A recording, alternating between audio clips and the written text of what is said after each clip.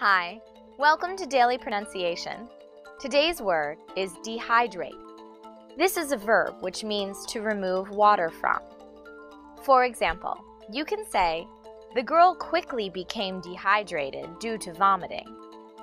Now, I am going to demonstrate how to pronounce the word.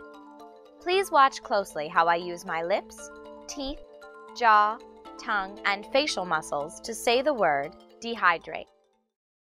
Dehydrate.